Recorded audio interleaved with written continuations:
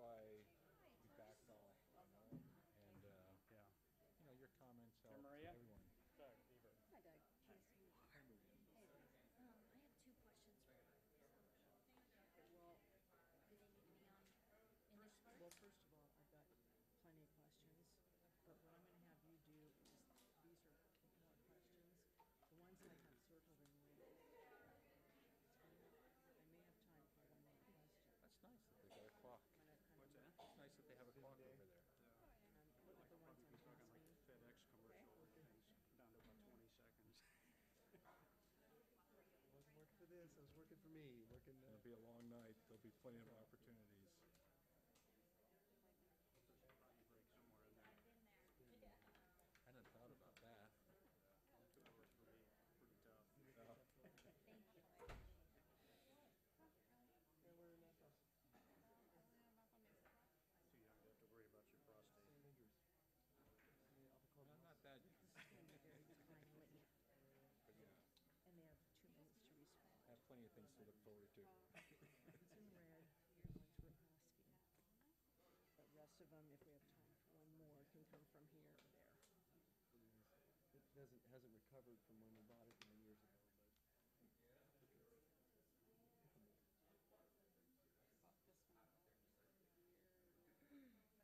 Desalination? Yeah, I'm- that's the question I'm asking. Well, one nice thing about the Rotary is you get to speak a lot. No, I'm asking the questions. Here's a question sorter, so if I have time for more, You're the president here. give me another question. Okay? Oh, okay, yeah. Now, are you set as far as timing? Okay. Kinda Cabrillo-like, Is it, little south of Cabrillo, yeah. these are questions. They're lengthy questions. Where you- where you work? Yeah. Okay? Okay, we're gonna get started. You? Do you have any idea what they're gonna ask? Seven o'clock on the dot? What do you need? It, please. I can guess, I don't know. Good evening, everyone. If we could have your attention, please, we're going to get started. Uh, Good evening, Capitola, and welcome to the Candidates Forum for the Soquel Creek Water District Board of Directors. Um, My name is Tony Castro, and I will be the moderator this evening. I'm representing the Capitola Soquel Chamber of Commerce, who is sponsoring this event. Um, The chamber does not endorse or support candidates, and we are here to facilitate questions, cover as many issues as we possibly can tonight during the next two hours, and learn more about our candidates. Uh, Today is Rosh Hashanah, and we do apologize to our Jewish friends for having the forum on a Jewish holiday. Scheduling forums is very difficult this year because the timing of having them prior to when absentee ballots are mailed out was really crucial. Uh, This forum is televised live by Community TV of Santa Cruz County and will be rebroadcast every Tuesday at 7 PM on channels 26 and 72 until the election. We have received many questions uh, from the community for tonight's forum, so many that uh, we sorted through them and have more questions than we have time for. We will not be able to take any questions from the audience tonight, but hopefully your questions will be answered. Each candidate will have two minutes for self-introductions and opening comments, and two minutes for closing comments. Each um, candidate will answer the same questions. There will be no questions targeting just one candidate. Uh, Tonight, uh, candidates Carla Christensen and John Hughes Jr. will not be here tonight. We strongly encourage everyone to get out and vote on November 4th. Your vote can make a difference. And each candidate will have two minutes to answer each question this evening. Uh, Now, to my left is Nikki, and she is the timer. Can all of you see the timer here? Yeah. Okay. and she'll be letting you know if you're over two minutes. And then I have Christine McBroom here, and she's going to be uh, giving me additional questions if we need them. Okay, so we're going to go ahead and get started. And Doug, let's start with you for self-introductions. My name's Doug Deaver, and thank you all for coming tonight. I appreciate that. Uh, I'm a 23-year resident of the county. I attended Purdue, where I have a- both a bachelor's and a master's in in industrial management, and I've got a 38-year working career in both the private and the public sector. And I most recently retired from Cabrillo College as the uh, Director of Facilities Planning. I'm also involved in the Rotary and many other community activities. I'm running because the current board, in my opinion, has lost touch with the community. I was disappointed in how the board didn't value public opinion, how they sent inconsistent messages to the community, and how condescending they were with their personal agendas over your, we, your needs and your wishes. The key issues, I think, that I see first, your rates have gone up by more than 42% as of January 2015. You're the highest rates in the county. The current board voted not to assess the economic impact of these increases on you, and uh, they actually did not want you to know. The current board believes that you are 100% responsible for fixing the aquifer problem, yet you use less than half the water. The current board's almost sole focus is on conservation and punitive rationing and not finding additional water. They implemented a stage three groundwater emergency, which wasn't really needed, uh, we don't think. Uh, the aquifers have more uh, now than they did 10 years ago. And we think that there's some fiscal management. So, what's our platform? We want to treat you like a customer. We believe that you deserve community respect, outreach, and involvement. We want better collaboration. We want to balance conservation with finding new water, sound fiscal management, and balanced water usage with finding necessary jobs to keep the community going. Thank you, Doug. Bruce? I'm Bruce Jaffe, and people ask me why I want to run for reelection, and it's not because I'm a glutton for punishment, it's because I care. This is a uh, community service position. Nobody's getting rich on this.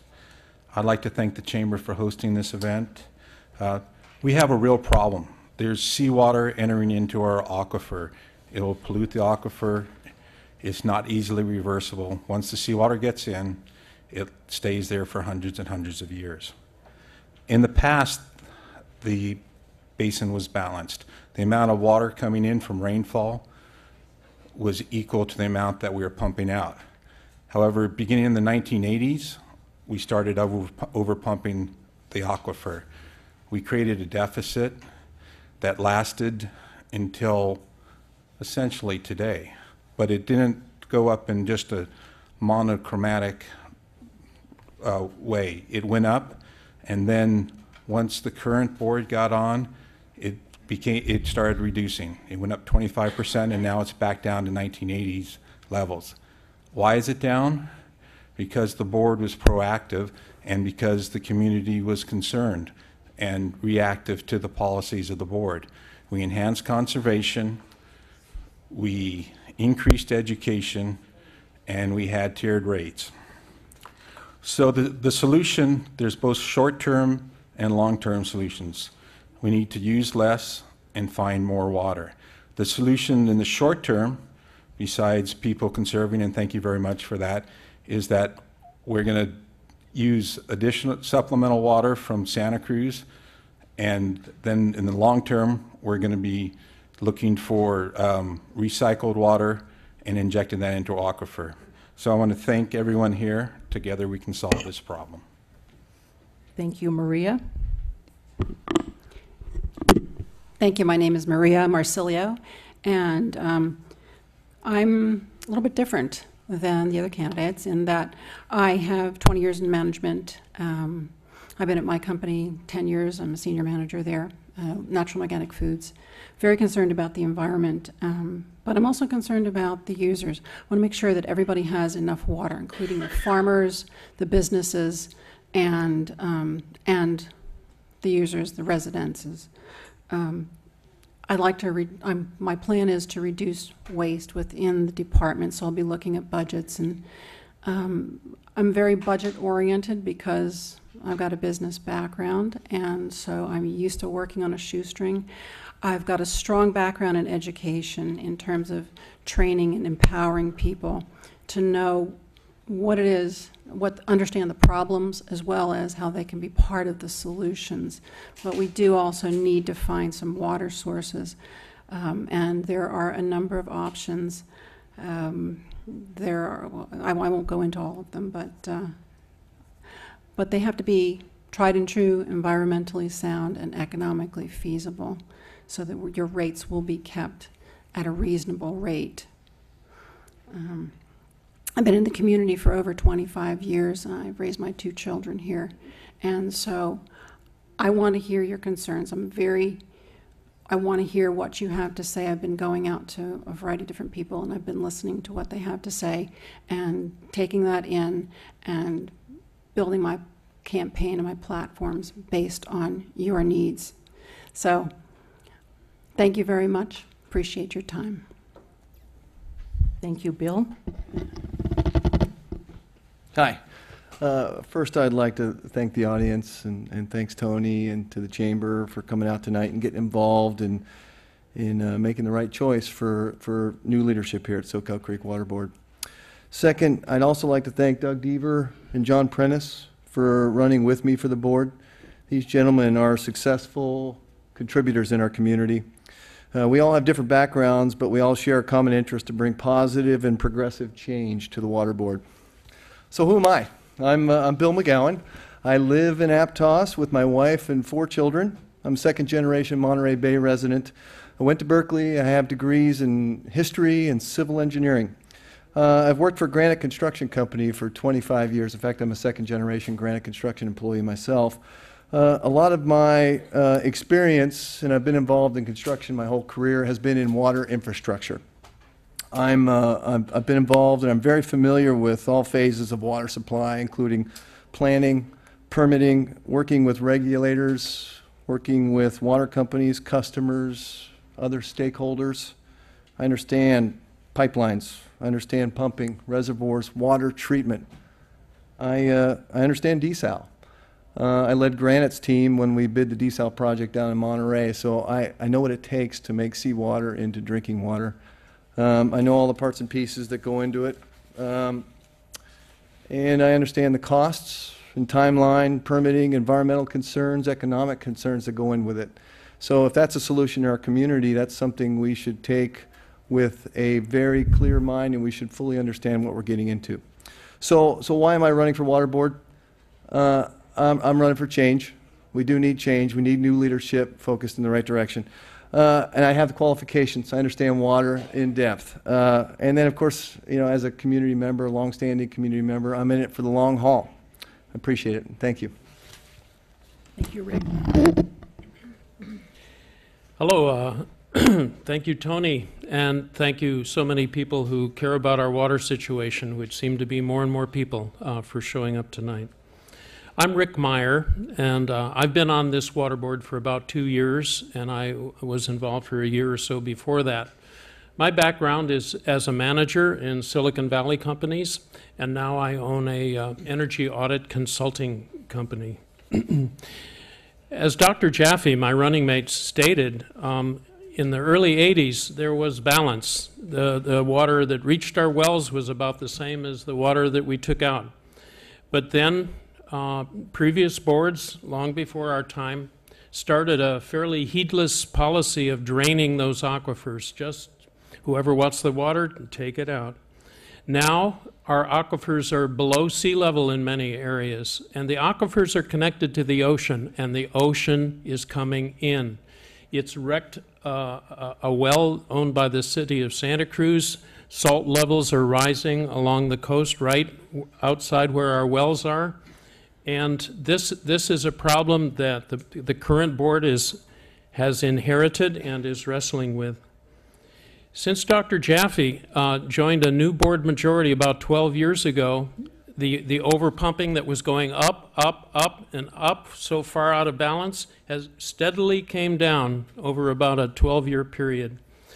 And uh, now things are in balance, except that the aquifers are still below sea level in many areas, and we have to refill them, and we have a few years to do that before more wells are ruined. And ruined wells means a ruined economy, a ruined uh, real estate uh, market. Your, your board has viable solutions that we're already pursuing, and we're doing what the state's requiring of us. Thank you. Thank you, John. Good evening, everyone. Real quick, the other thing that keeps going up, up, up, and up is the $16 million budget. Good evening, everybody, and thank you for uh, attending this evening and taking time out of your busy day. My name is John Prentice. I reside in Aptos with my wife and children. What brings me in front of you today is, for once, uh, to try to solve this solution uh, of supplemental water supply. Uh, for decades, we've been kicking the can down the road, and I think it's time to find a supplemental water supply without excuses and using dates that date back to 1980. As you've heard previously, uh, the speakers to me, this is not a problem. This is a situation. Problems can't be solved. Situations can. This is a situation that us, the community, can solve. What won't get this solved is spending millions and millions of dollars and upping our rates 200% over cities that are neighboring us. What you did not hear in opening is the most important thing. We need to foster relationships with other people pumping out of this aquifer. That's the most important thing. We need to foster relationships. You haven't heard it. That is the most important thing. You're going to get nowhere unless you have a relationship with everybody that's pumping out of this. You can expect voluntary, voluntary water conservation programs, not $3.2 million mandatory water rationing. Expect significant cost savings. Expect improved water offsets. Expect dramatic improvements in the bridge building in our county with other stakeholders. I'll be open and transparent. Transparent like this right here, not like this. And in other words, I represent positive change. Thank you for your time, John Prentice. Thank you, John. Shelley? While plowing through the Water Board's July 15th 892 page agenda, Hydra popped into my head. Remember the nine headed sea monster whose heads, when cut, doubled? The work plan to identify stakeholders and develop outreach programs read like the biblical, biblical begets. Even the resource plan update was pages of new alternatives and screening criteria for subsequent alternatives. Enough paralysis by analysis and outreach.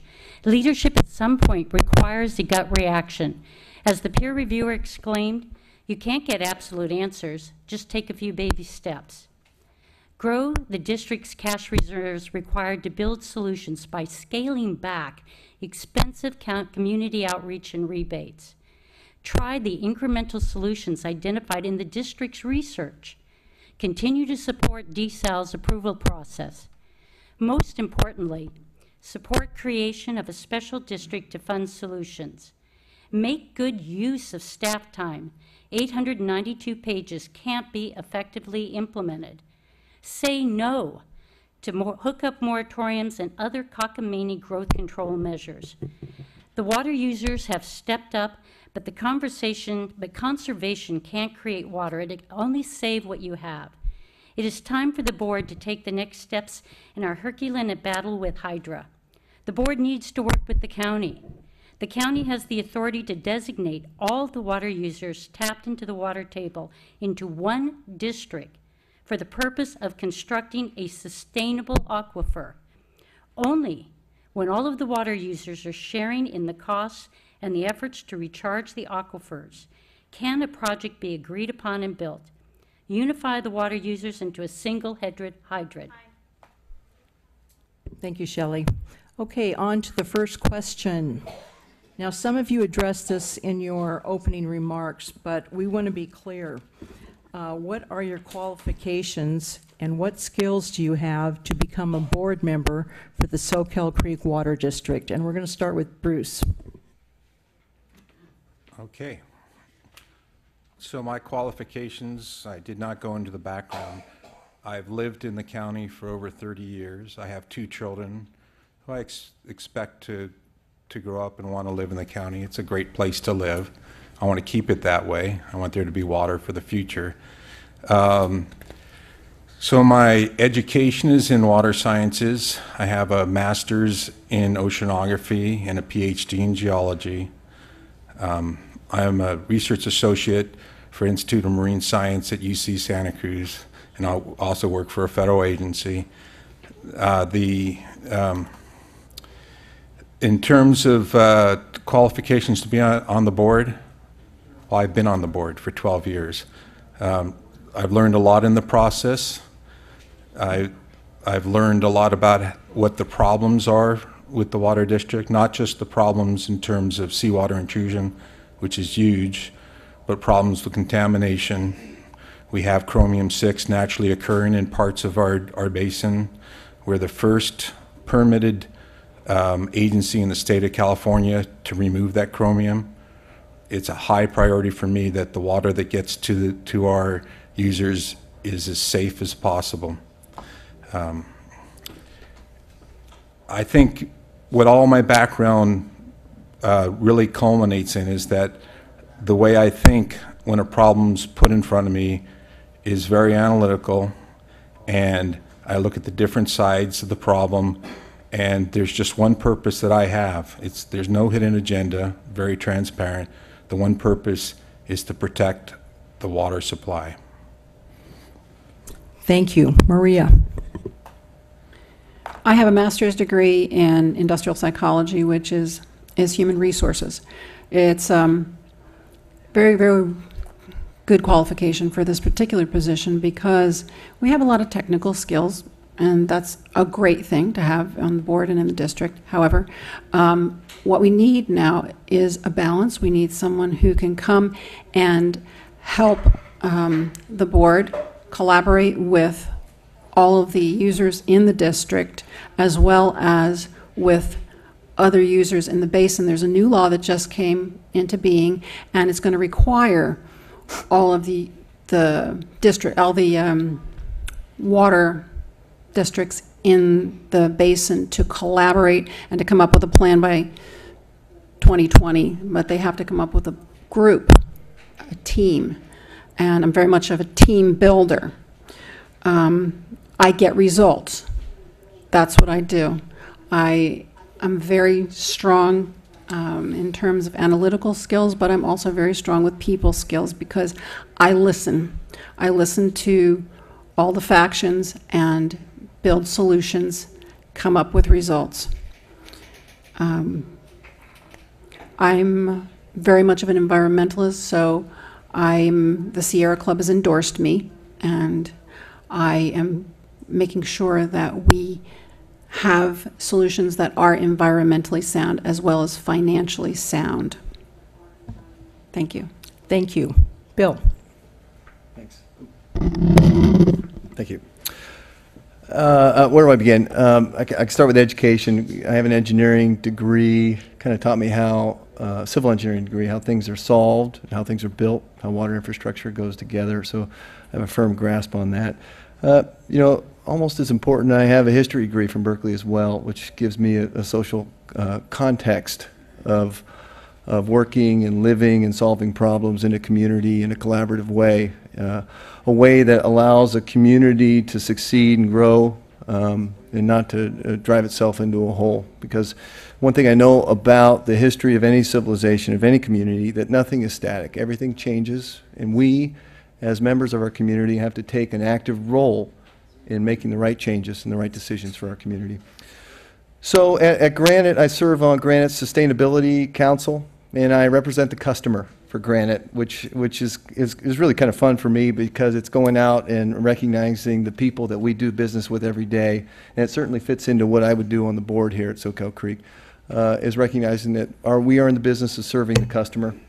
Uh, also at Granite, I manage a project right now. It's a water project out in Carmel Valley. It's a really interesting job. It's a dam removal, reservoir removal project. You may have heard of it, the San Clemente Dam Removal Project. We're removing an old obsolete dam and reservoir that's completely silted in, functionally obsolete, and restoring several miles of the river. It's a really cool job. Um, you know, working down on the down on the peninsula is kind of giving me some insight again too about what a community looks like when it's highly stressed by a water supply issue. If you've done any studying about it down there, they have some serious problems that we do not want to bring up here to our mid-county district. Um, I'll just stop there. Thank you. Thank you. Um, I'm Rick Meyer, and I was educated at Yale uh, and at, also at UC Berkeley. Uh, for about 25 years, I was a manager and then a vice president in Silicon Valley companies. We came out with all kinds of new computers, software, and products you've, you've come to know. Um, now, um, the my work on the water board takes a lot of my time, but I still have some time to do energy audits for uh, customers. I'm a consultant to building owners. I help them reduce their costs of, of, of energy. I've been uh, two years on the board, um, and I've proven to be a, a, good team worker, a good analyst. Um, the entire board has uh, endorsed me and Dr. Jaffe as well to continue serving. Um, our packets do run into hundreds of pages, but they need to be read and, and analyzed and policy decisions made upon them. It's a big commitment. I think I'm an agent for making sure that we all move forward, grapple with new problems, uh, find the new solutions, implement them as soon as, as possible. Uh, I'm endorsed by the Sierra Club. Um, I've lived 17 years here in this community, and I think I know it pretty well. I serve on the Energy Committee of the Association of California Water Agencies. And within the district, I serve on a committee that is actually bringing about the regional collaboration that everyone here is talking about. That, uh, thank you. Thanks, Rick. John? First off, I do not have a doctor's degree to hang on my wall. Make that clear. Also, uh, I have a full head of hair, so don't let the youth fool you. I have a 20 year old son, um, relatively the same age. Uh, 23 years I've been in this community running a large business, $100 million a year business. I was one of the youngest CEOs and general managers in the country for a car dealership. I su successfully was there for 23 years in the car business. Currently, I own four businesses that I'm the president of. I'm used to running staff of 100 plus. Right now, we're at 52. I've given back to this community for 15 to 18 years, over 150 charities. My reputation in this community speaks for itself. I do not need a doctor's degree to hang on my wall. I have real life reality things that I've solved in this community. I just came off a four and a half year project where we saved 60 years of history out at the racetrack. It was a noise abatement issue, which is a little bit tougher than water. Four and a half years, we came together, we solved that without attorneys, without litigating it. I'm happy to say that they will continue to have racing out there. That was all of us getting together, the neighbors, everybody involved, and collectively coming to an agreement, being flexible, and not having the attitude that we're smarter than our staff, our experts, and our customers. And I am not endorsed by the Sierra Club, but I can tell you I'm proudly endorsed by the county supervisor, Zach Friend. My endorsements are very impressive. I invite you to take a look at the list of them. I just don't think all those people can be off on their judgment. Thank you. Thank you, John. Michelle? I served eight years as a county commissioner in Colorado. You call them county supervisors here. I also served uh, chair of the Clean Air Advisory Board, the, the County Planning and Zoning Commission, the state's uh, uh, uh Colorado County Inc.'s. Uh, I was chair of the Transportation Committee for the state, taxation, yada, yada, yada. You don't know anything about Colorado. But what I do have is years of experience one of the cutting edge co communities in the United States who is trying to do what Santa Cruz has been doing. And I know what many of the th activities that you're predicting, maybe I would need to cut off. Um, I know what the um, outcome of many of the things that have been proposed will be because we destroyed my community with some of the proposals like the moratorium. That's what got me involved in this com whole conversation. One of the things that is wrong with this board is that there are too many uh, master's degrees and researchers and teachers. The board has excellent talent, but you can't have five of the same thing. You have to elect a board that has other perspectives, and that's where you're going to get your solutions. Thank you. Doug? Can you hear me okay? Okay. I'm going to go through my technical qualifications in a minute, but that's not why I'm running for this board. I'm running for this board because I went to board meeting after board meeting after board meeting where you, the public, the taxpayers, and the voters were ignored. And so they want to talk about technically solving the water problems. You didn't vote for Zach Friend to be your supervisor or John Leopold. You didn't vote for your public officials because they are, have an infinite knowledge of asphalt. You voted for them because you want people that represent you. And you want to be able to go to a board that can, you can talk to, that, you know, that will listen to you and will work with you for a solution. And that's not what's happened, and that's why I'm running. But I'll get into the technical. I have a bachelor's and a master's from Purdue. It's a combination of management, industrial engineering, and computer science. I'm not aware of any of the candidates that are hydrologists, so anybody that claims to be a water expert is not going to be able to compete anyway with the uh, staff and with the consultants that they bring in. Uh, I believe that you're voting for somebody that you want to respect and can work collaboratively. I ran facilities planning at Cabrillo College. Uh, did a lot of infrastructure as part of that. I also ran the business office on an interim basis, so I'm uh, very familiar with the financials, how to run the, the, the budget. In addition, I uh, worked in a company, I was a vice president of a company in Berkeley where we had a groundwater contamination problem that was a significant issue. The site was threatened to be on the Superfund list, but working with engineers and hydrologists, we were able to resolve the problem at no remediation cost to our company. It's about managing complex data and coming up with strategic solutions. It's not about micromanaging, and that's what the board today is doing. I'm also actively involved in the community, the Rotary, CASA, uh, still with Cabrillo College. So I think you want somebody that's going to represent you, and John and Bill and I are those three. Thank you, Doug. On to the next question. And Maria, we're going to start with you. How do you feel about desal? Desal is an alternative, um, but there are a lot of alternatives. I do know that desal is an expensive alternative. I saw an article in the Sentinel a few days ago that said that uh, it's not as expensive as people once said, and but every all the other data suggests and says that it is expensive, and environmentally, it's not the best solution. Um, it causes a lot of greenhouse gas emissions. There's the intake issue and possible the damage to the marine life, as well as when they put hello, okay, they put the um, brine back into the ocean, that also has an impact on the marine life.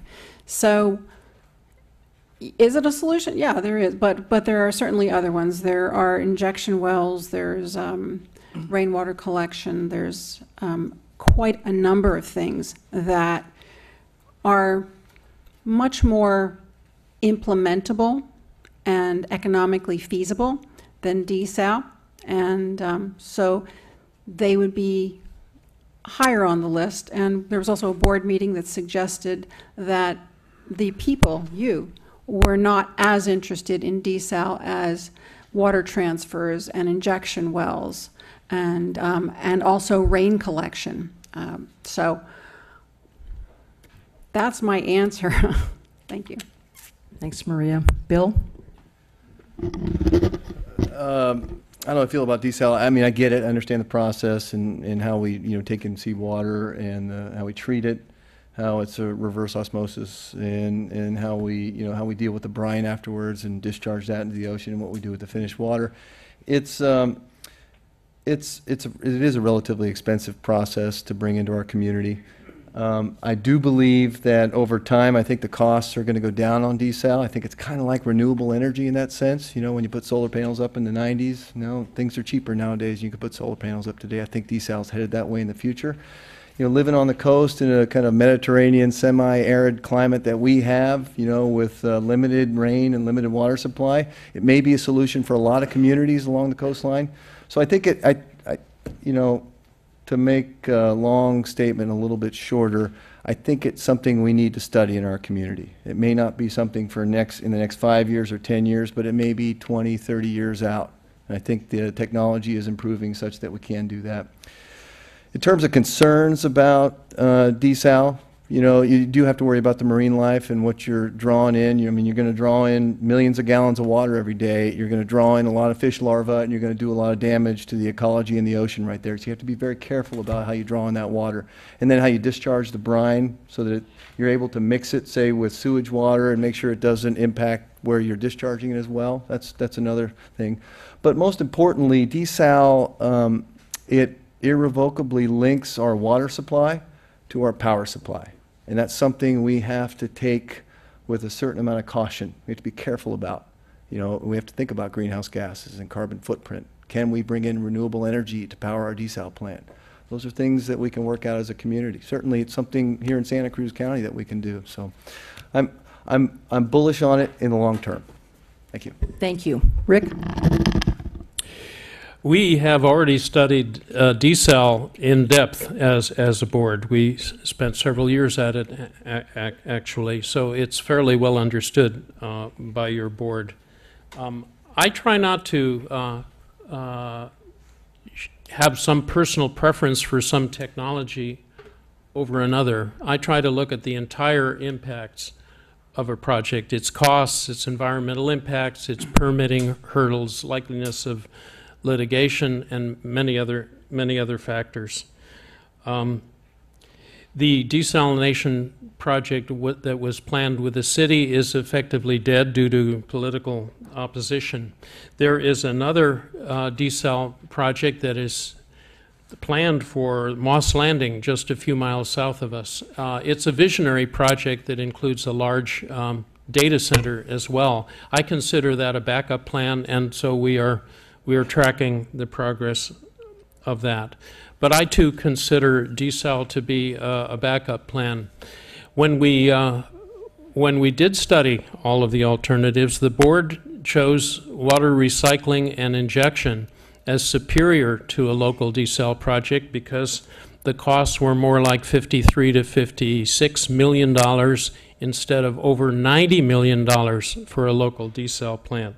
The energy input to water recycling is a fraction of the energy needed for desal, at least the, with using the current technologies.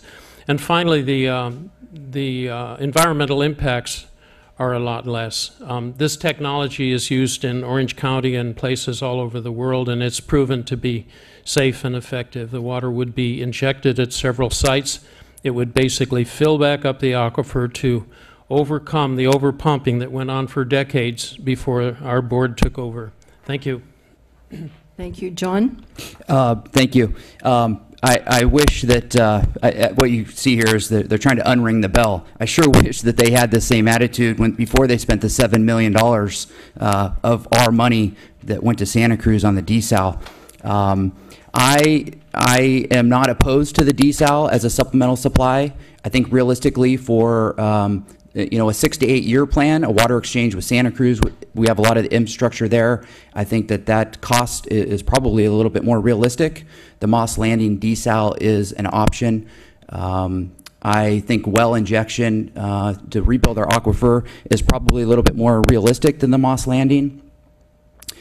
But once again, we need to get on the same page with uh, Central and the city, and uh, that needs to happen uh, before uh, we can move forward. Um, what I am against is spending millions and millions of dollars, 3.2 million this year, 3.2 million on Conservation Plus.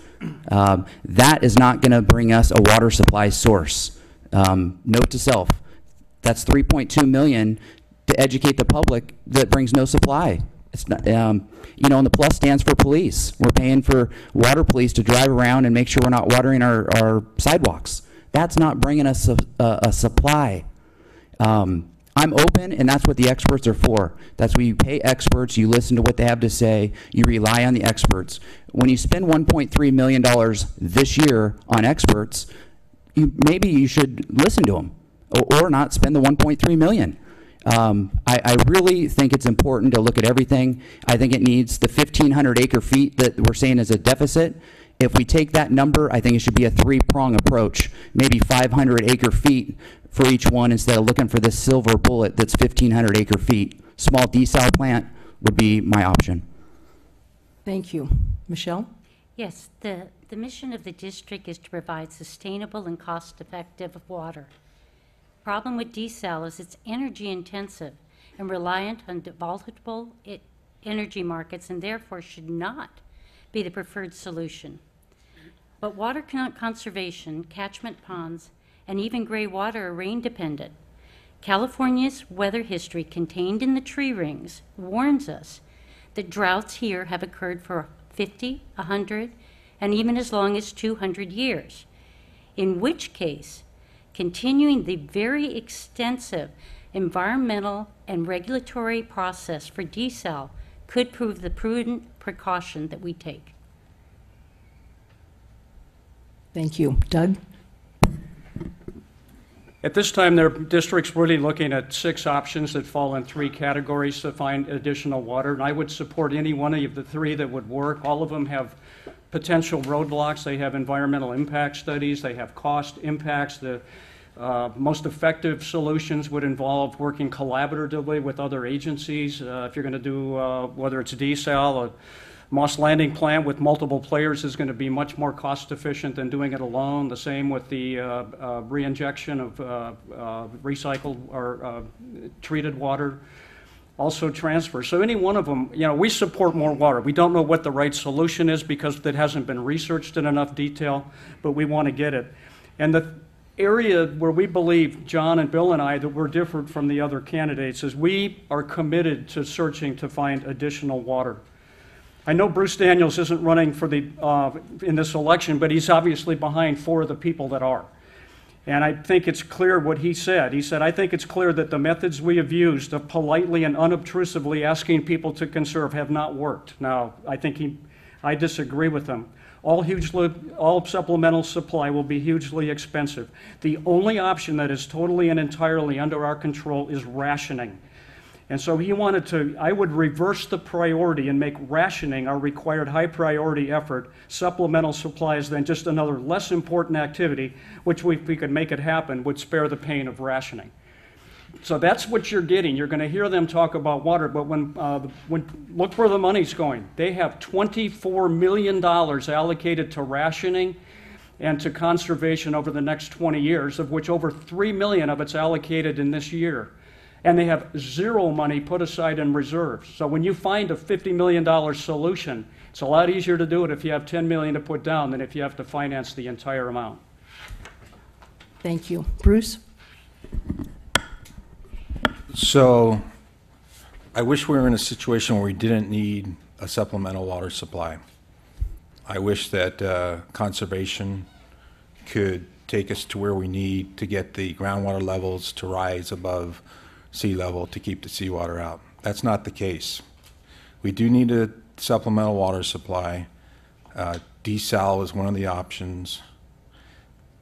Currently, the board is pursuing three options, two re recycled water options, one that's district only and one that's a regional solution, where the, um, the reason we're pursuing that is because the cost is less, uh, greenhouse gas emissions are less, and there's more control when we do when we do that project than we in the past when we've done a desal project. It's uh, it's out of our control right now in terms of the regional project with Santa Cruz. They are reevaluating, and who knows where they'll go. Um, so um, I'm moderate. Um, the Sierra Club is, has endorsed me. And that's despite the fact that I was a member of the desal task force. Um, my stand on desal is that I'm a reluctant supporter. There are other supplemental water supplies that are less costly use less energy, and are better for the environment. Um, One thing is, no matter what we come up with, and I mean we, not the board, I mean we as a community, there's going to be a vote on that. It's not going to be dictated to you like, you will have this. So, again, together is how we're going to solve this problem. It's not going to be from a board, it's going to be the community working together. Thank you. Okay, the next question, and we're going to start with Bill. What is your position on the idea of a moratorium? Well, I have a pretty clear position. I'm, I'm against them. I think it does a lot of uh, irreparable damage to a community. I think there's some pretty good examples in the coast uh, communities here in California, whether it's down in the Monterey Peninsula or in Cambria and places like that. Uh, Moratoriums, building moratoriums bring, do good, do, do damage to the economy, damage to the culture, damage to our uh, way of life. Um, It puts people out of work.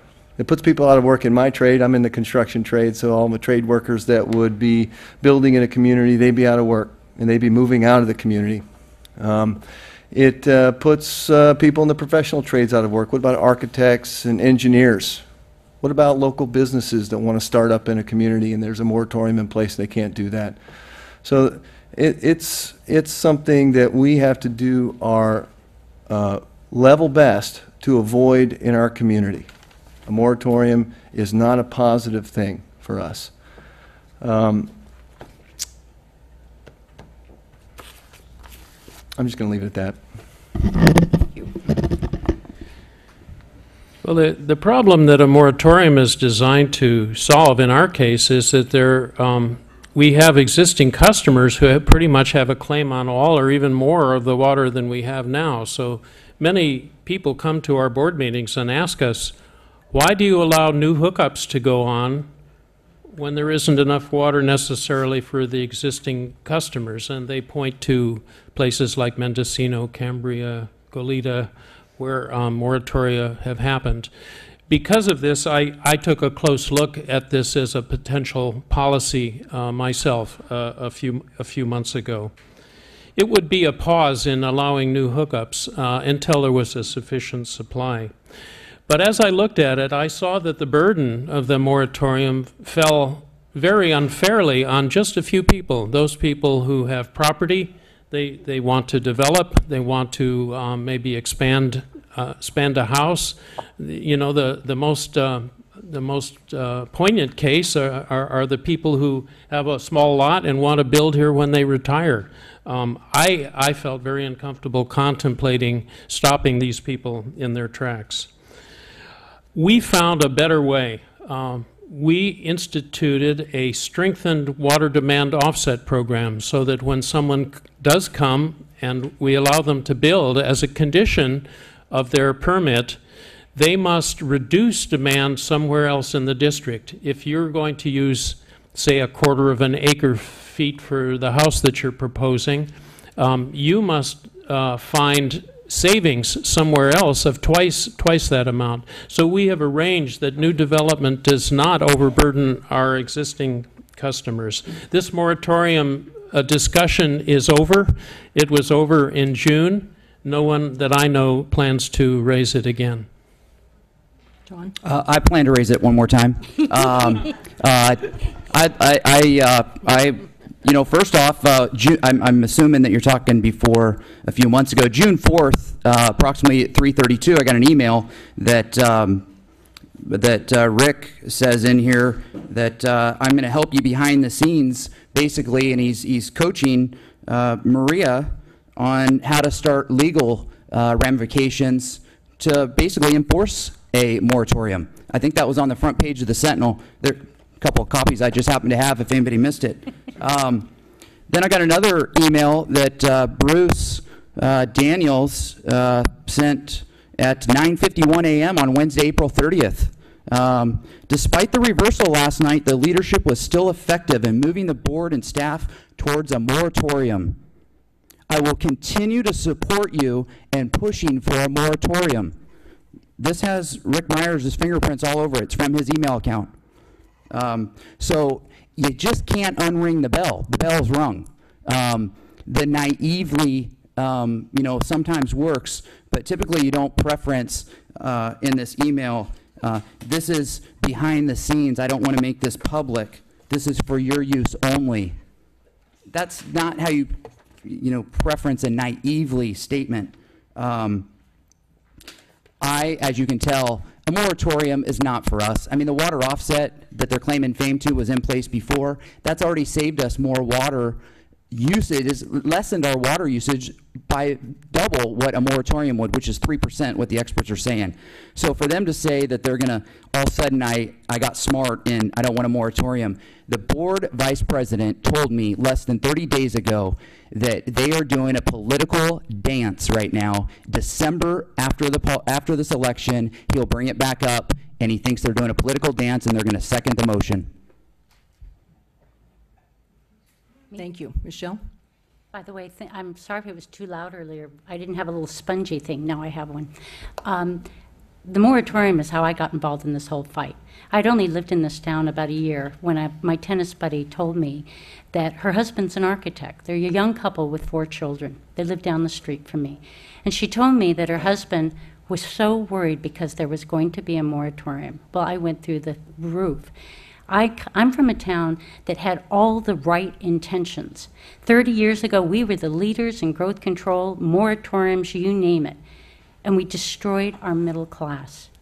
What happens with a moratorium is you put, in, in Pitkin County, and I'm going to assume your number's probably close, 85% of our economy was generated by the real estate, building, land use, the construction industry.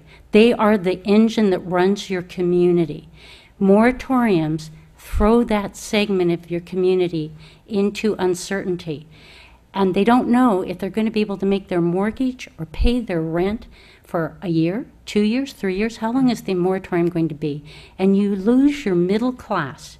More important, well, not more importantly, but adding to that, a building moratorium, the, the, the, the uh, board staff told them would address 2% of the aquifer draw with no impact on 90% of the current users, including 50% on, wheel, on wells. There's no point in hurting your community for something that will gain you nothing. Thank you. Doug? I do, I do not support a half a moratorium, because you can't have a whole moratorium because you only control 50% of the usage in the basin. So, but I do not, I do not believe in moratoriums. A moratorium means that all projects are bad. So you have a sleep clinic, which saves me from going to Palo Alto. You've got a dialysis clinic that even though it's not in Soquel Creek water, it's right across, same aquifer.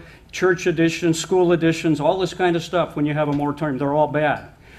To show you what that means, um, on April 8th, the board, uh, Rick Meyer sent a letter to Twin Lakes Church saying uh, that we basically implemented a temporary moratorium until we can figure out what we're doing with all the will serve requests. And so therefore, you guys are hung out on your project at potentially significant cost to you uh, while we debate whether we want to implement a moratorium or not. That's on uh, the 8th of April. On the 9th of April, there was an internal memo at the Water District stating that their own expansion project required water demand offsets. And what did they say about that? Tom LeHue said it just illustrates how complicated and problematic a blanket halt to will serves or moratorium can be. On 4 9, Rick Meyer says, I'll be gone for the next meeting, but trust me, I trust you all to solve the problem. We don't want to be a victim of our own moratorium. We're not the planning department. Um, I do have a little, okay. And you look at the projects, John Leopold and Zach Friend among them are supporting local economic development, including building 20-minute neighborhoods. This is the whole concept of trying to reduce you from driving and trying to get the villages to, to build out. I want to talk about the water demand offset program as I have a second. The Aptos Blue project, which was raved on by Sam Farr and all the local politicians, the new water demand offset would take their project cost about $800,000. The water demand offset program would add $300,000 to their water hookups. The water demand offset program that they've implemented is a moratorium. Thank you. Bruce? I'm against a moratorium. There's no need for a moratorium. Moratorium does not solve the problems. The problem, once again, is that we need to raise the water table to get above sea level. Sounds like a broken record, but it's true. So there were customers who came to us and asked us to look at whether or not a moratorium is a solution. We responded to that. We agendized it. As a board, we decided not to institute a moratorium. It's a, it's a dead deal. It's not something that's going to happen. Not why I'm on the board.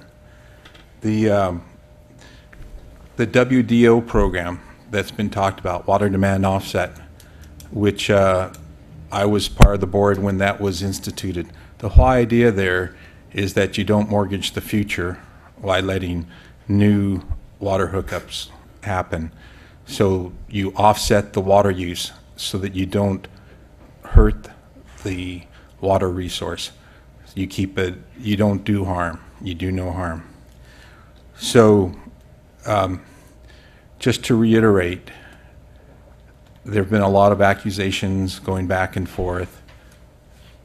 But the truth of the matter is, and you can check the minutes of the meetings, you can check to see who endorses each of the, the candidates, and you can see that there's no moratorium issue. It's a done deal. Thank you. Maria? Okay, well, since I've been named in this article, uh, that was at- in the Sentinel, um, I do want to bring up to you, think about how much time and how many resources it took to find that one article three months ago. And I don't know about the other candidates, but I can tell you, I sure don't have that kind of money. Follow the money. But with that said, moratorium. my uh, my views on that have evolved. Um, three months ago, I had one idea, and I've I've learned a lot in the last few months. And really, there's very little buildable land in Santa Cruz, which means that if somebody wants to put a house up or maybe build a remodel or something like that, that, that's really not going to affect the water table tremendously because there's just that, not, not that much space. Um, and my son is an electrician. I believe that we have to keep a healthy economy. And so there are businesses that may need to expand. Maybe there needs to be some small businesses that need to put put up a like a sleep center like Mr. Deavers suggested or other sorts of things like that. That's fine. Um, I have absolutely no problem with that. Thank you. Thank you. We're going to start with Rick on the next question. Although the City of Santa Cruz slash Soquel Creek Water District partnership has terminated, what will you do if elected to advance countywide collaboration among water district and agencies? The reason we need regional collaboration is because we have one big glass, but there are very many straws in it, all owned by different people. There's Soquel Creek Water District, Central Water District, the City of Santa Cruz, small water districts, small water agencies like Trout Gulch, big water, well water users, Cabrillo, Seascape, individual well owners. Um, all of us have to participate in a solution. And um, well before the state decided that there must be sustainable basin management with the recent legislation, we had already begun. We have had a series of meetings uh, among private well owners so that they're up to speed on the threats of seawater intrusion and the, the range of possible solutions, the legal aspects to water rights, and so forth. So we have been educating them. My running mate and colleague, Dr. Jaffe here, uh, chairs the Basin Implementation Group, which is a regional group that is tackling the problems of basin-wide management. Uh, Recently, the county has joined, and we have invited the other agencies to join. We, uh, we hope that this will evolve into the Sustainable Groundwater Management Organization that the state um, anticipates. Uh, We also collaborate directly with the county, uh, and they recently passed some ordinances for water conservation that are very similar to ours, and we, on the other hand, uh, enforce some of their uh, ord- ordinances. Um, I, I meet with the county uh, supervisors periodically, and I look forward to expanding our regional solutions. Thank you. John? Uh, uh, quickly, um, it, it, to answer the question, it didn't take a lot of time when I see emails that say, this is private for you alone. I do not want made public. Kind of stands out like a red, you know, light. Uh, follow the money. I'm funding about 90% of my campaign just so when I get elected that I don't have an agenda and I can make my own decisions. Last time I checked on my website, which you can go there, I believe it said I have a total donation of $25 to date. So there's no money. Um, it's just about right or wrong, and, and sadly, to, to justify it that way. Um, this board cannot get it done. Let's just make it simple. If they could, they would already have done it. They've already said that this problem has existed since the 80s. They can't get it done. The, the, I mean, look at it. You have these people, as they said, pumping from a straw, and they declare emergency, and nobody else does. I, I think they might think they're a little bit cuckoo. So I, I, I just, um, I- they can't get this done. You need a new board. Uh, there's just no way you're going to get all these people at a table and move forward, or else it had already been done. We're going to continue to kick this can down the road. We have three candidates that have stepped up to volunteer their time to have change.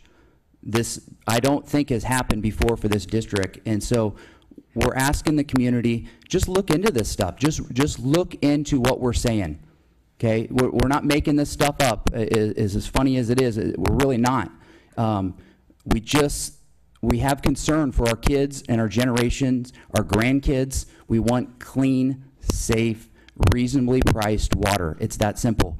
Uh, what will I do? I have I have um, some colleagues on boards um, with Central and in uh, Santa Cruz. I, I'm not sure about uh, Pajaro. Uh, we'll give them a call. and We'll sit at a table and have a meeting and make it productive. That won't cost a couple million dollars. Thank you. Michelle? Rick Meyer well described what it is like to read the work plan. And I'm not sure if it's 30 or 40 pages, but it is, it, it's what made me think of the biblical begets. It's that work plan of trying to work with all of the stakeholders, the well holders, the agencies, the governmental groups, yada yada, is why you have a Hydra. It's why you have still been having this conversation for I don't know how many years 20, 30? There is, but there is a way, and the epiphany for me was when the county, eh, back home, counties can declare an area of mutual interest in um, a district. And your county obviously has that authority because they recently said that everyone in the county that's drawing on the water table will use the same rules for irrigation that the four or five districts had already passed. So they have the ability to unify everyone. And from everyone I'm talking to, the well users, the members of the, the Santa Cruz Water District, you all want to solve the problem, but you don't have a vehicle in which to do it. That's why I would urge the new board to start working with the County of Santa Cruz to utilize authority that I believe they probably already have. And the, and the board has done, uh, the Soquel Creek has done a remarkable job of creating studies and mapping what your water tables and your aquifers actually look like and who's drawing on them. And that becomes your district. That's the boundaries of your district. Then all those people together are unified. And just with a school district, whatever, when you have a project that the various representatives of the districts agree on, it goes to all the members for a bonding vote. Thank you, Michelle. Doug? I want to uh, come off of what John said. On June 3rd, the board implemented a Stage 3 groundwater emergency. And uh, basically, John Ricker, Santa Cruz County Water Resources Director, said he does not support declaring a groundwater emergency. And the most important consideration for declaring a groundwater emergency under the Water Code is as a threat to human health and safety. So they implemented it anyway. And no other agency that takes water out of the aquifers implemented the same thing. Director Daniels stated, well, so if nothing else, we need to make this declaration of emergency to get it on the front page of the paper, to let people know, to give them a wake-up call that they need to do something. It's really hard to establish working relationships when you're not on the same page. And so far, the Soquel Creek Water District, I'm not saying we don't have a problem. We clearly have a problem and a challenge to address. But when you have very different views, not only of what the condition of the aquifers are, but what the solutions are, it's really hard to bring people together unless you're willing to come into the middle. And this district has really not shown that. You know, somebody from the Pajaro Management, uh, Water Management Agency came to me that was on the board. We're both Rotarians and asked if uh, he thought that maybe we could improve relations if I were elected. You know, any of the solutions are going to, that are cost-effective, are going to require collaboration. If you look at water transfers, you got to get water from another agency. We don't have it within the Soquel Creek area, at least not in the kind of quantities. If you want to do uh, reinjection, it's a lot, uh, you get a lot more economies of scale working with the city of Santa Cruz than you do by trying to do it internally within your own district. And desal's the same way. You know, the preliminary estimates on desal at Moss Landing are 50 million if it's shared and 80 million if you do it on your own. So to get a solution, we have to work together with other agencies. Thank you. Bruce? Can you repeat the question? Certainly. Although the City of Santa Cruz and Soquel Creek Water District partnership has terminated, what will you do, if elected, to advance countywide collaboration among water district and agencies? Well, I think it's, it's only natural to work together. Um, Water doesn't know any political boundaries. It flows between the different jurisdictions. And so I totally support and have implemented plans to work together. I'm uh, the head of the Basin Implementation Group, and recently we have expanded the group by inviting Pajaro, Santa Cruz County, City of Santa Cruz. We're going to be inviting, we're talking about inviting uh, private well pumpers. And together, we're going to work on the solution.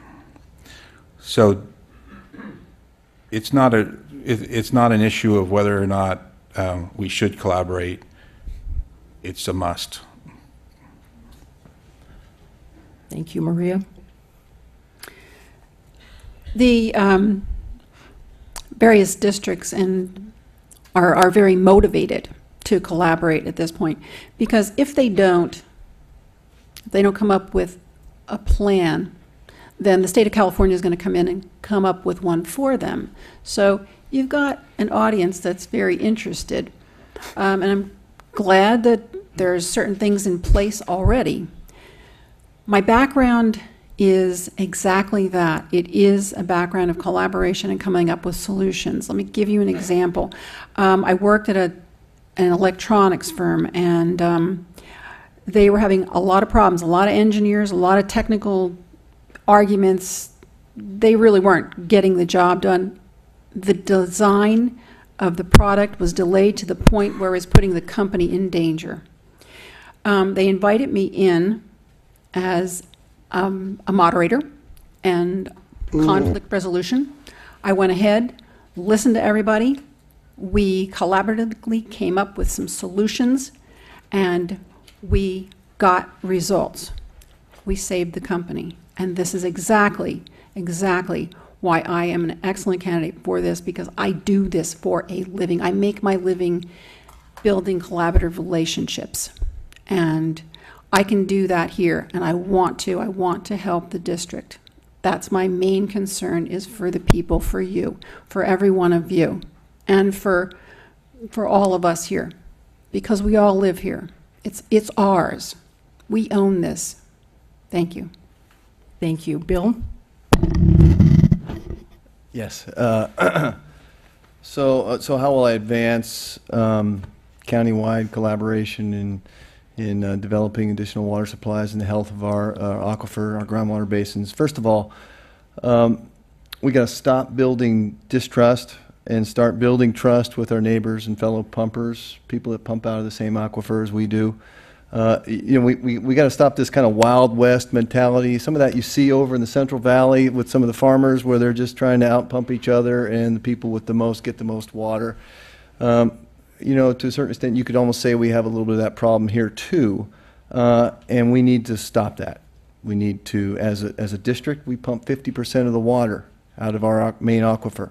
That means we got 50% of the responsibility. That's a heavy responsibility for our district, and we should be taking a leadership role in that. But that doesn't mean we have all of the responsibility. It means we need to reach out, bring in the rest of the pumpers in our community, in our aquifer, and, and develop a region-wide solution. Um, you know, it's a two-part solution. First of all, we need to develop a common understanding of the health and assessment of our aquifer. Where, where do we stand? You know, let's, let's share the data that we have from our monitoring wells. Let's understand seawater intrusion, where it is, where our weak spots are, where, where we're, could get into trouble. And let's get everybody in our aquifer to understand that as well. So we need that common understanding. That's a, that's a good platform to start from.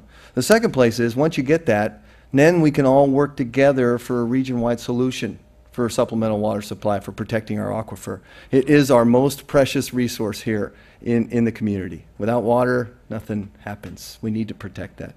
Uh, these new uh, state laws, these groundwater laws that are coming out, those are going to be helpful. That's tailwind to the process for coming together, getting the community together to solve uh, supplemental water supply and basin health solutions. Thank you. Thank you. Next question, we're going to start with John. The Soquel Creek Water District recently declared a groundwater emergency and an associated water use reduction program that will result in mandatory rationing beginning in 2015. What is your position on these actions? reckless. Um, I, I feel that uh, mandatory rationing, when the customers have shown you a 23% decrease in water consumption voluntary, there was, there was no need for this mandatory. Um, in my opinion, I believe they declared this emergency, which they're um, using their analogy. The you know, you have all these straws in this aquifer, and they're the only ones that declare it. So you might ask, why did they declare the emergency? Well, maybe because of the rate hikes. You know, we're 200% higher than Watsonville. That might might have something to do with it. But really, I think it comes down to is they declared this so they can try to get a hold of the private wells and try to get meters on these private wells. Uh, through emails I've read, it, it really looks like that's the direction they're heading. Is by doing this, um, it's going to bypass the county because the county was not in support of the groundwater emergency. I have a, a letter right here from them. Um, so they bypassed the county because they didn't get what they wanted, declared the, the emergency three, so now they can meter wells. Um, I, I, I just, I, I don't understand why you would penalize somebody for using less water. To me, that makes no sense. Hey, good job using 23% less water, but here's your new penalty, surcharge, and rate increase. And we move your billing to monthly instead of bi-monthly. Enjoy. Um, to me, it seems like you might get a little bit more savings if you rewarded people for saving water. Maybe use the 75 uh, per person as a baseline and have a super saver tier. Maybe somebody that uses 65 gallons, you save them money. You give them a rebate, you give them a discount. Somebody uses 55, you give them a discount or rebate, save them money on their bill. You'd be amazed how well it would work instead of uh, demanding you ask and incentivize. Uh, that would be my vote, is to restructure this whole bill cycle. Thank you. Michelle? Could you repeat the question? Certainly. The Soquel Creek Water District recently declared a groundwater emergency and an associated water use reduction program that will result in mandatory rationing beginning in 2015. What is your position on these actions? Um, There's several, several points. First of all, the peer review demonstrated that the um, the numbers that they're basing the rationing on may have been inaccurate because the uh, original hypothesis or assumptions did not take into consideration the amount of water that comes through septic fields as a recharger to the system. As to water rationing, um, the members of the Soquel Creek Water District have brought voluntarily reduced overall consumption by 16% just this June alone. Setting 75 gallons as an optimum target to assist residents with quantifiable goal is good. But mandatory rationing with punitive fines, and most importantly, no long-term plan, achieves nothing at all. You can get a lot of goodwill for a couple of years, but not for the rest of your life.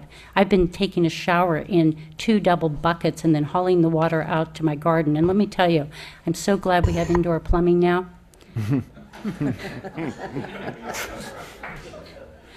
Rethinking and changing norms in water uses, landscape choices, etc., are part of a sustainable solution.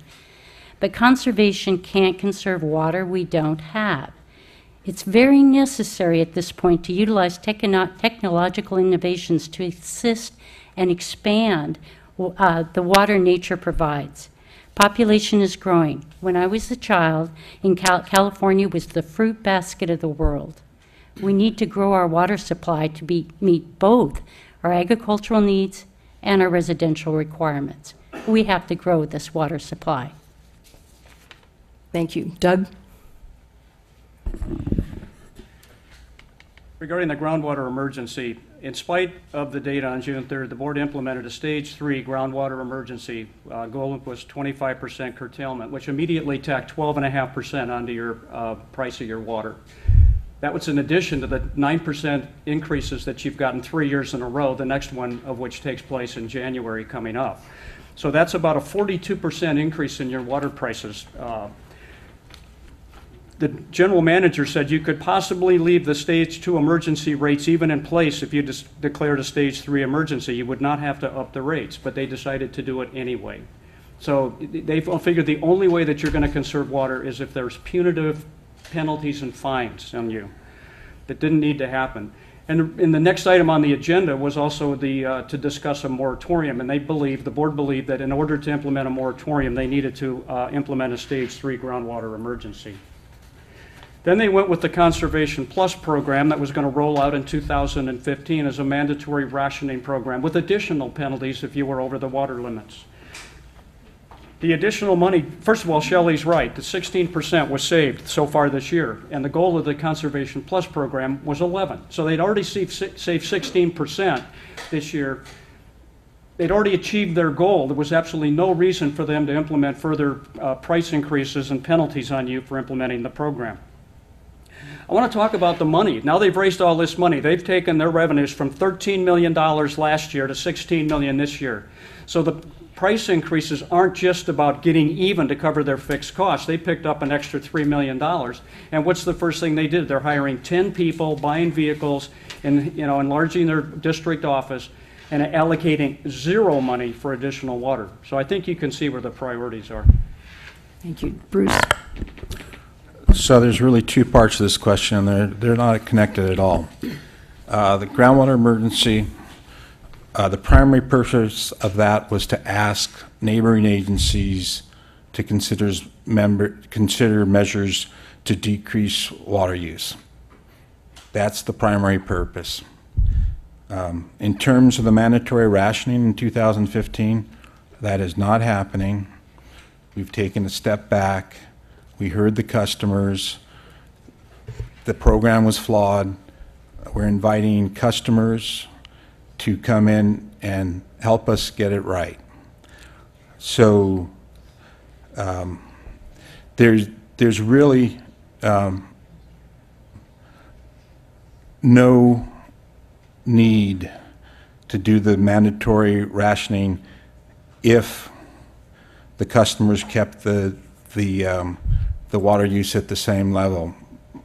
Um, however, you might be surprised to know that there are users in our cut in our district uh, who have water bills of five thousand, six thousand dollars a month, who use, it's hard to believe, but over 5,000 gallons a day. Um, The purpose of the Conserve Plus um, program was to send a signal to the water wasters, the people who don't respect the water resource like the vast majority of our customers do. Um, Three percent of the water users use ten percent of the water. The upper twenty-five percent of the water users use fifty percent of the water. We want it to be fair for all the users. Thank you, Maria. I've been at the meetings, there's a lot of public outcry um, about this situation. Um, And I've also talked to a lot of people, and they are upset. Um, But so are the people in other districts who are already on rationing. They say, why do you get 75 gallons a day and I only get 65? And, and it goes on and on and on.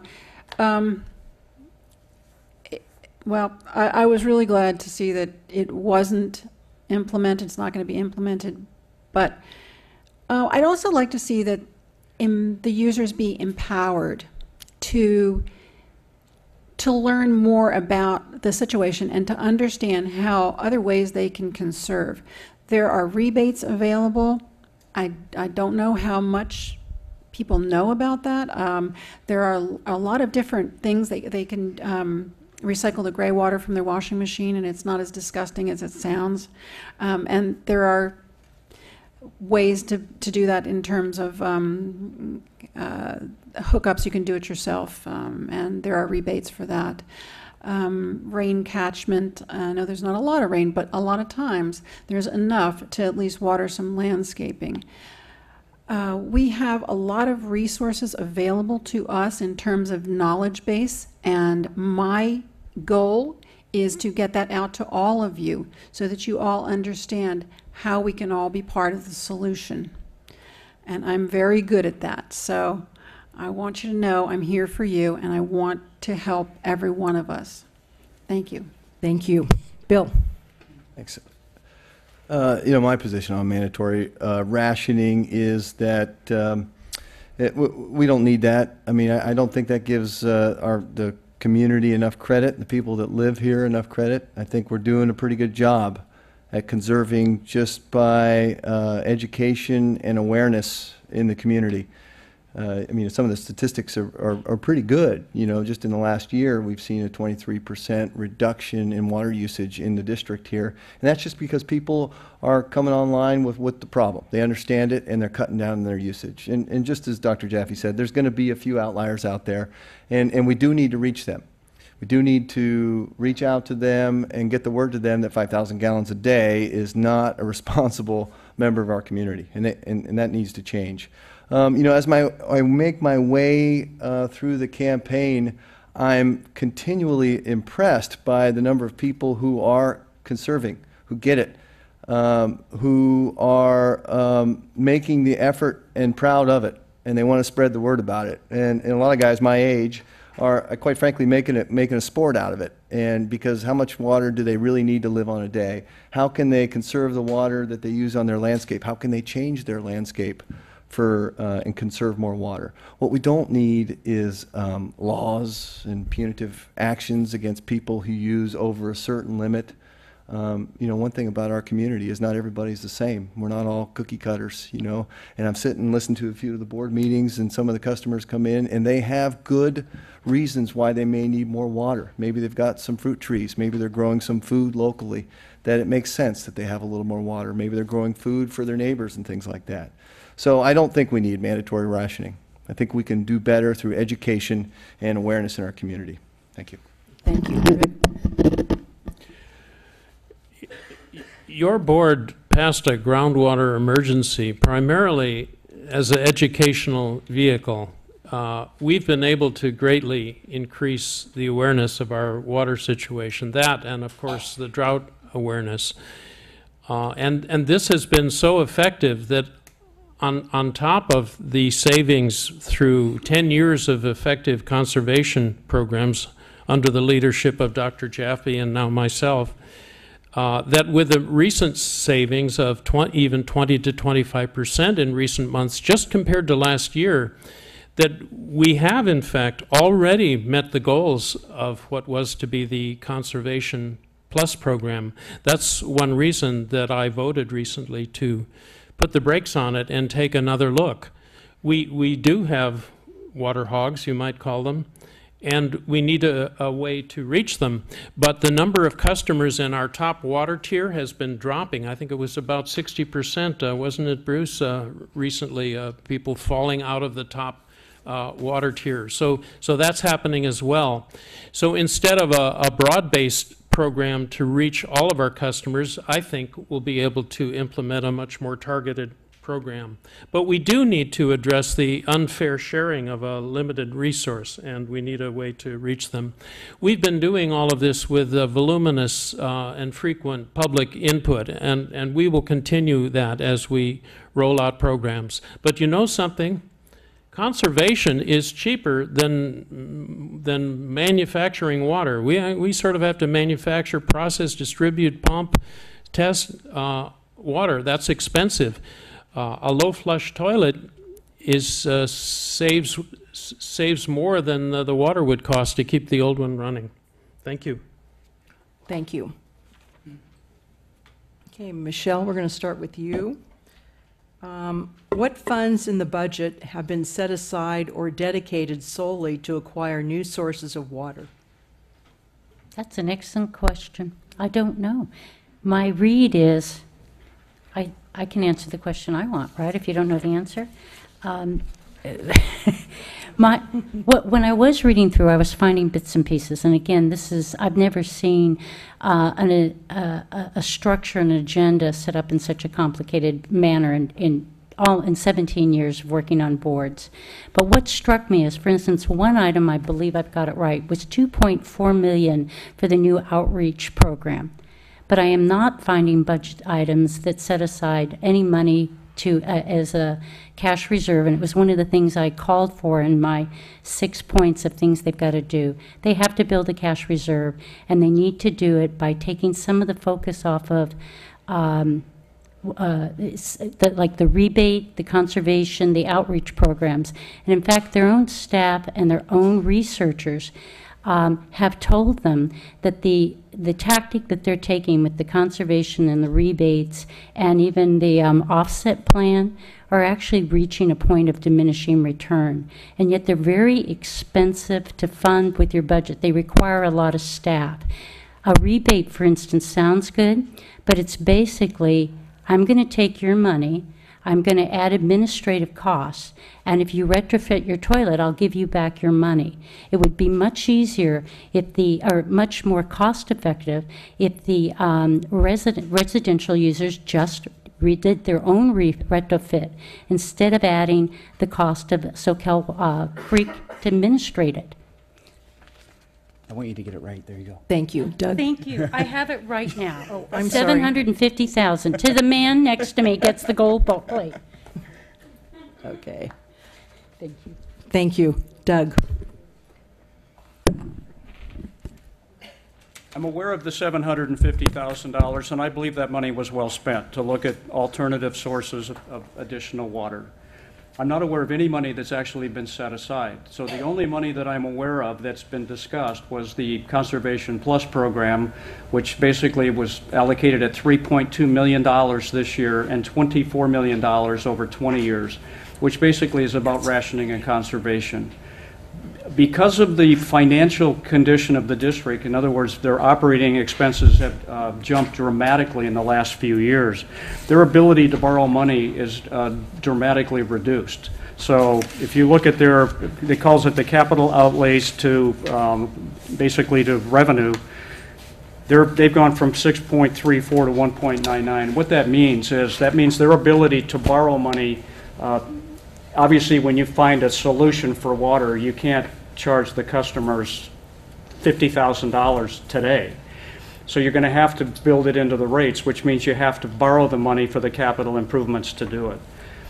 Again, they, they're not setting any money aside, as far as I can tell, in the budget. So that means if they do find a solution, 50, 60 million, or whatever the number is, it's, it's going to be extremely difficult, especially with the high rates they have now, to raise the rates and to actually float the bond money that's going to be required to actually fund a new water alternative.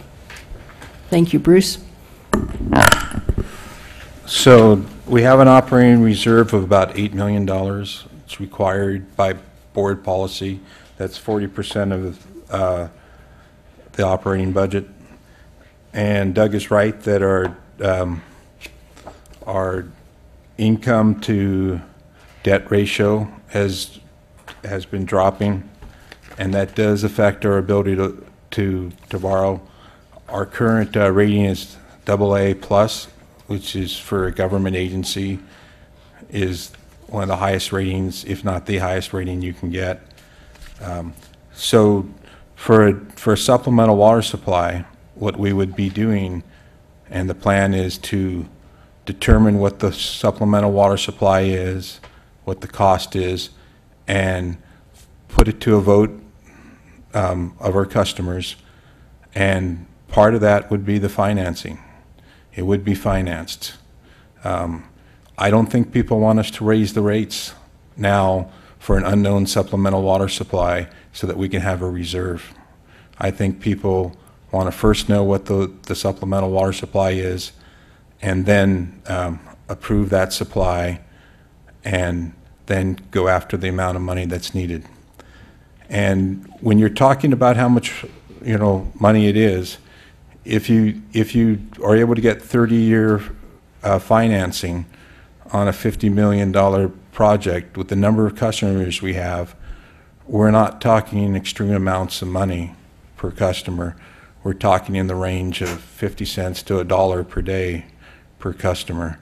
So it's, because we have so many people, there's, there's, there's a lot of, um, the cost can be shared and it won't be an incredible increase. Thank you, Maria. No, I haven't seen um, those numbers. I can only, um, I can only say that at this point, because there uh, are, there's still an exploration of the various solutions. There's a, a number of, there's a number of solutions that have been proposed, six in total. I also suggest beyond the six, I will look at other ones in addition. There, um, there were a couple of desals, um, there were a couple of water transfers, some injection wells, but um, there are a number of other types of solutions that need to be explored. So uh, it needs to be, the budget needs to be reviewed to make sure that all of the options are being considered that people really want. And there was a survey done, uh, there are 23,000 voters in the district, and 300 were surveyed. I don't know how many people actually responded to that survey. That number isn't significant and isn't reliable, therefore it can't be a valid number. So I want to see another survey done with a wider variety of people and a wide, a wider input. And then um, a budget can be developed to find the proper solutions that people want that are effective as well as environmentally sound. Thank you. Thank you. Bill? Uh, So, so this one's a little harder hitting uh, for me. So I, I know the $750,000 number that's being spent to find new water sources for our community. And, and I don't have any science behind it, but it seems a little light for this board, considering the level of the groundwater emergency that's being declared and the, you know, the hair on fire mentality we're hearing from this board about a water emergency in our community. So um, I'm a little surprised. There's a little bit of contradiction there. Um, what what troubles me is um, we're, we're not we're not carrying any money for building new sources because we don't know what we're going to do yet. I went to a meeting uh, board meeting about a month ago, and we were still putting dots on a map about what we think might be solutions for the community here. And this has been a problem in our community for 10 years, and there's been no solution come up with yet. So what the- what I see is a lot of money being spent on conservation, salaries for conservation. This is money thrown down a hole. This is not money towards a new water supply for our community. And then when we do figure out what we need, then I see us taking on a bunch of debt, and we'll have a pretty heavy debt service along with those salaries, and we'll be paying double for our new water because of poor decisions made in the past. And this is where the cat's out of the bag, and we have to take account of decisions made and actions made by this board in the past. We didn't get this water, this supplemental water supply online. And now we have a little problem. And our costs are going to go up, and we're going to pay for it. So this is probably something we need to hold this board accountable. And, and uh, and I know it's kind of a little hard hitting, but I mean, this is, this is something we need to address here in the election. Thank you. Thank you, Rick. We are paying now for bad decisions made in the past, starting in the early 1980s. A very different board, in fact, board members that now endorse the slate of candidates running against me and Dr. Jaffe are the ones who overpumped and burdened us and our children with the, with the, with the expense of, of that. Water is very local. Um, costs vary enormously. The costs of extraction, treatment, delivery, it's different. It's all over the map. You can't really compare us with, with others. I'm very proud that um, our district is uh, reviewed, its finances are reviewed thoroughly before financing agencies will help us with capital expenses. And uh, we received the AA plus rating, and we, we, we've been able to borrow money at very low rates, uh, interest rates. Um, the conservation program that my opponents are attacking represents only 7% of our budget. And yet, look what we've achieved in the last year tw- about 25% reduction in water use for only 7% of our budget. Is that an ineffective use of, of our money? So, when you conserve 20%, and the rates also go up 20%, it's a wash because the rates are up, but your usage is down. So although rates rise, bills don't rise commensurately. In fact, uh, this 20, 20% example, your, your actual bill that you pay in the month would be uh, the same. We reduced a $117 million water rationing program to a much more acceptable $25 million conservation program. It's a bargain. Thank you, Rick. John? Did I miss something, or neither of these board members said one number um, when they asked this question? So I'll give the numbers for you that uh, apparently they don't know. Uh, Water sales are budgeted at 69.91%. Um, That's what they're, they're at. Their staff is going to increase, it was 40.37. They're increasing their staff to 51.63. That's a pretty large jump. Um, let's see, their new water software uh, program that they bought so they can bill us monthly instead of bi-monthly, that was $180,000. Their new vehicle they bought last month from North Bay Ford, that was $54,000. Replacement of a truck, $31,000. I think you're getting my, my gist here. Their budget is, is at 16.783 million, million, 16.783 million. That's up 30% but yet they tell the customers that we just want to raise your rates a little bit so we can have a flat line. Then we hear, well, 7%, that wasn't a lot to spend for a 25 reduction. Well, wait a minute. The customers were asked to reduce, they reduced. That money would have been, we didn't have to spend that 7%. You would have got the reduction. This budget, as you can tell, is out of control, and this is a prime example of it. That you have board members up here that have no clue what these numbers are. I went to the board meeting and I said, "Are you guys aware that you're going to go through 20 million dollars in six months from now to the end of the year? You're going to go through 20 million dollars." And they looked at me like a deer in the headlights, and I said, "No, no, no. This is on your website. This is your stuff."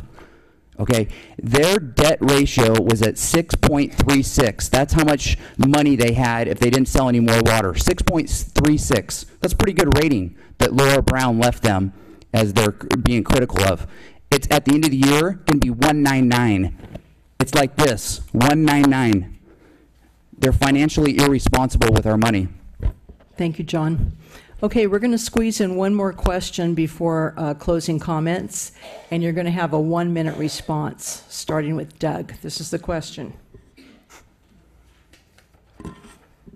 Should businesses be required to pay higher rates as compared to residential users for water use as they do not have to ration?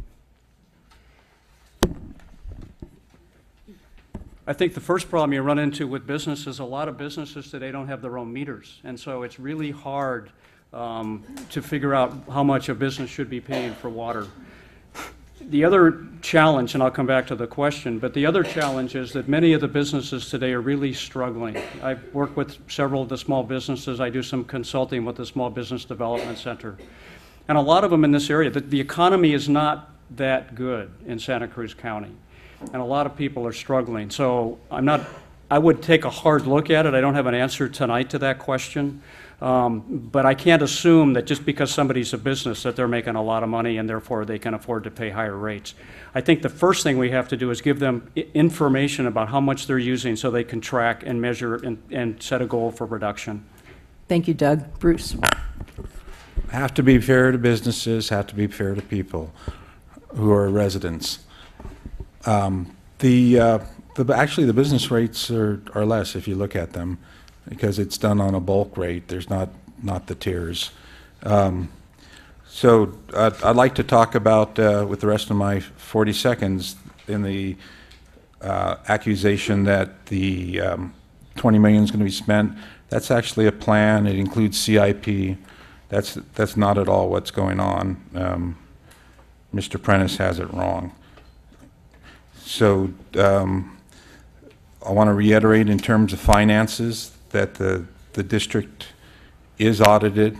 Uh, They have policies that are enacted to keep it solvent, and it is solvent. Thank you. Maria? Um, Businesses uh, need to understand how much they're using, and my understanding is that they don't really know exactly how much at this point, so that needs to be defined. And they do have to put in place best, best business practices, but that's not really monitored, so it's not monitored very well, let's put it that way. Um, So that needs to be looked at, and if we're all going to be doing our very, very best to conserve, then businesses should be included in that, as well as everyone else. As far as the rates go, um, the rates should be equitable. Thank you. Thank you. Bill?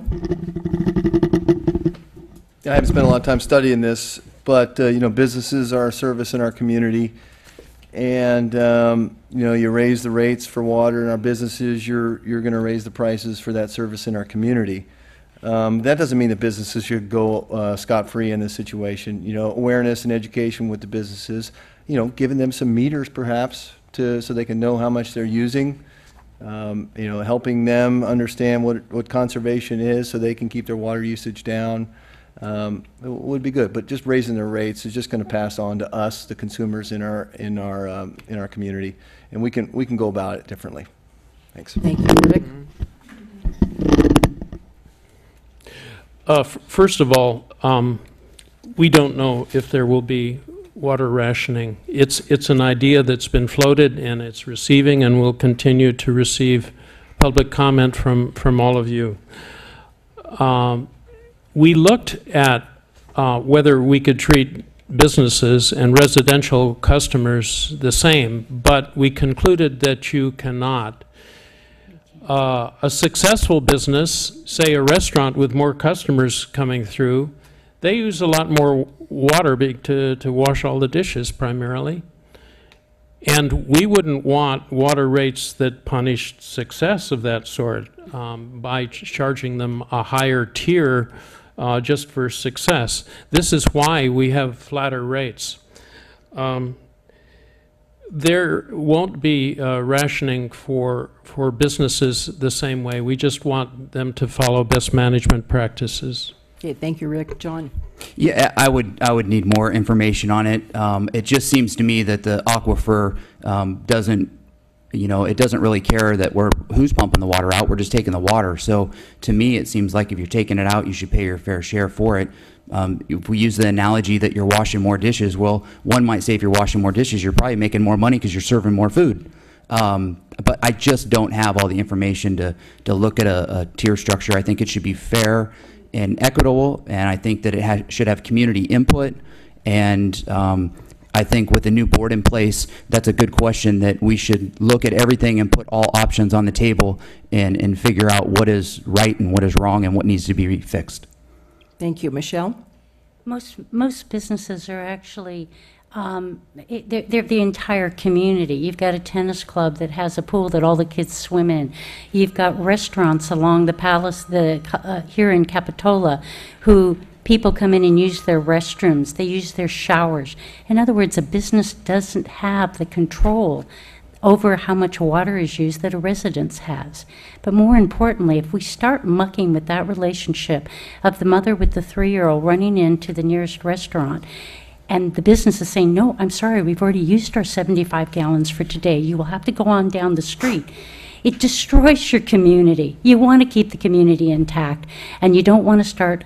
I, I would really, again, with like with the moratorium, back off what your unintended consequences are of a blanket policy. Thank you all. It's time for closing comments, and we're going to start with Bruce. All right.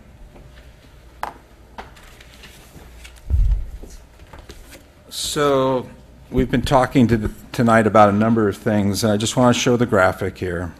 First of all, thank you to the Chamber of Commerce and the people who are in the audience and the people watching on television who care about our water situation. Um, I've been talking about our pumping increase. This is the increase that occurred from the 1980s to when I came on the board. This blue area here are safe levels. This is sustainable.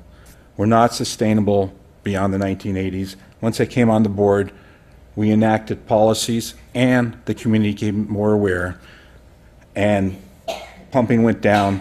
We're now very close to sustainable levels.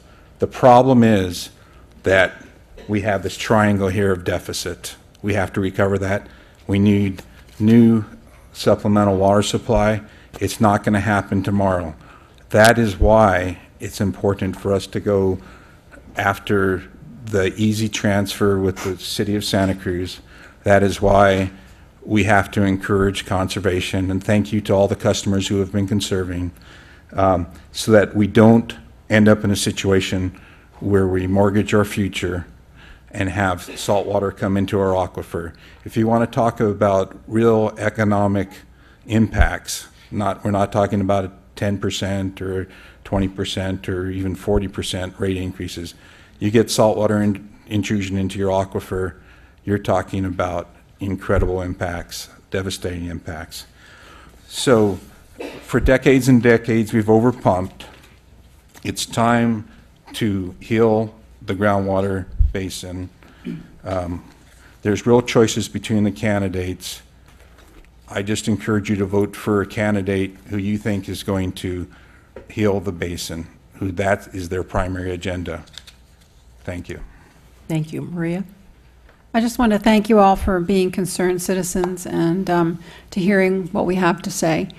Um, I really stand for, for all of you, and I believe that we do need a supplemental supply, and it's not a simple solution. It is a multifaceted solution that's going to require a number of options. Um, as well, not only getting the water, but also working with the other groups within the basin. Um, I'm, I, I strongly believe that we all need to be part of this.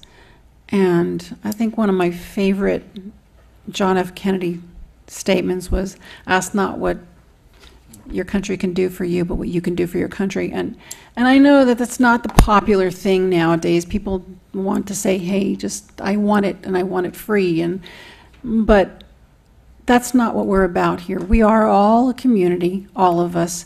And I'm here and this is what I want to do. I run, I ran for board simply because I'm concerned. I'm a very busy person. I do a lot of volunteer work. I, I have a full-time job. Um, I have a, a lot going on in my life, but I feel so strongly about this, um, about protecting you, every one of you, and all of us, as well as our environment, that I said, yeah, I'm going to take the time and, and be a part of the solution. Thank you. Thank you. Bill? Thanks. I want, I want to start by saying thank you to the chamber and thank you to everybody who came out here tonight and thank you to everybody who's going to be watching this in the future here. Uh, it's been a pleasure to participate in in this uh, in this Q and A forum today. It's been a pleasure to participate in the in the campaign and um, and work with John Prentice and work with Doug Deaver and and work to bring about change uh, in our water supply here in the community because we do need change. So so I, I thought I'd just touch on a few things about where I stand to be clear, because if you're having, just to help with differentiating between the candidates. You know, if, if elected to the board, you know, I'm going to fight to maintain a safe and plentiful water supply for our community. And that's without putting undue stress or trying to change our way of life, you know, because we have a pretty good way of life here in the community, and, and we need to keep it that way. Um, you know, I, uh, I believe in conservation. I think it's a necessary thing in our community where we live here on the coast. Uh, you know, we need to be very careful about our water supply and what we use, and conservation is just table stakes in our community. Um, but we also need a supplemental water supply.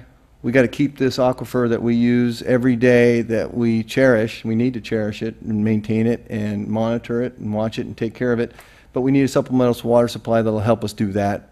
Uh, uh, the you know the the current situation is that the the district is kind of out there by itself.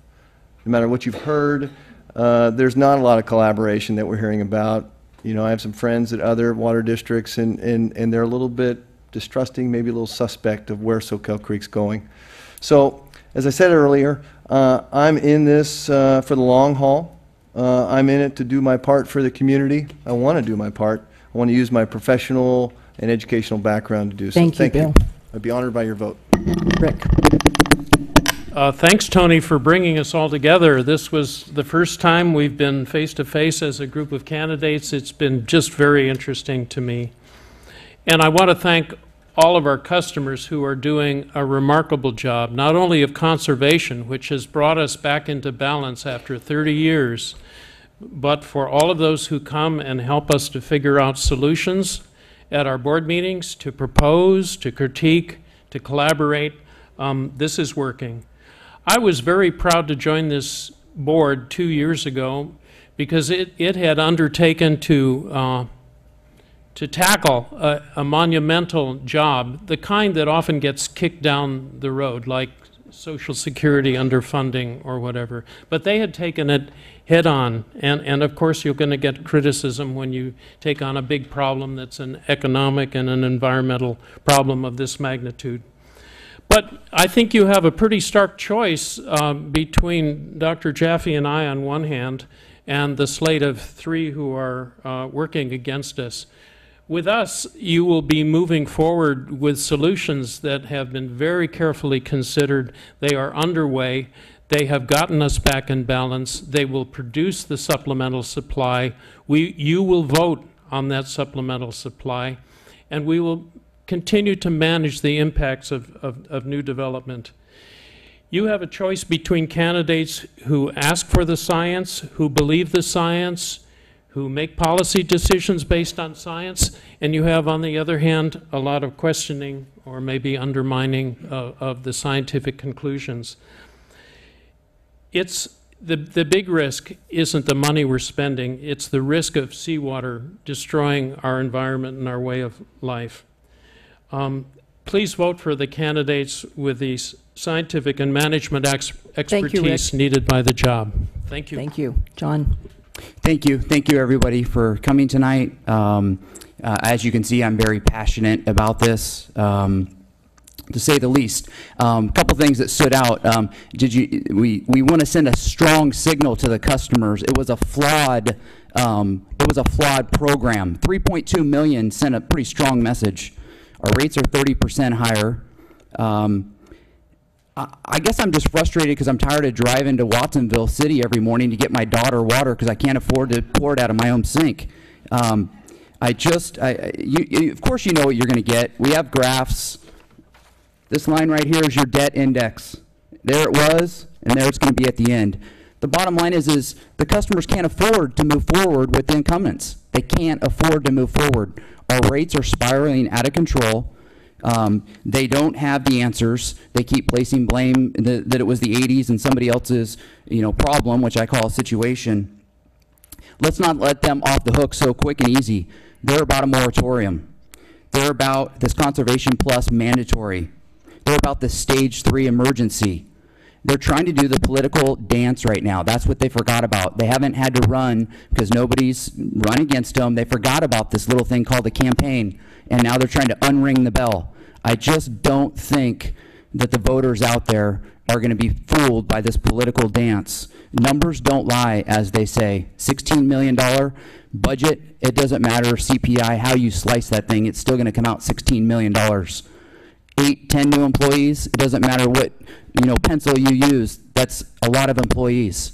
Um, I don't know a lot of companies that are buying uh, employees boot allowances. I saw that on the check registry. That was interesting. What you get with me is smart, transparent, and honest honesty. That's what you'll get. I'm all about smart growth, honesty, and being transparent. Thank you, John. Michelle?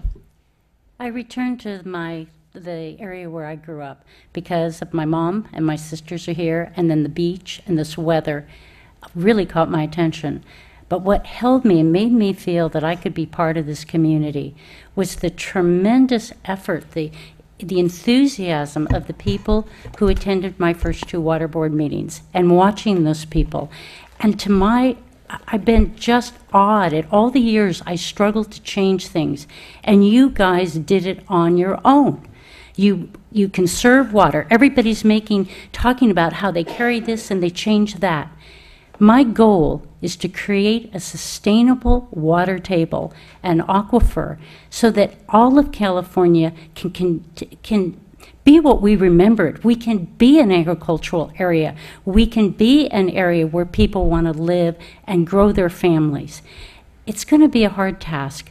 And I, I want to give kudos to the prior board. I have never seen such depth and research, and the, the, what they have compiled to go forward is extraordinary. But why I decided to put my name in is one of the evenings, the, um, uh, the presenter was describing the structure of your aquifer and what the opportunities are and the areas where you can do immediately do gray water um, into something like Soquel, uh, into sea, Seascape Golf Course, for instance, and you could block the, the saltwater intruding there because that particular section of your aquifer is so porous. And instead of grabbing that amazing concept, they started discussing the difference between 0.3 and 0.4.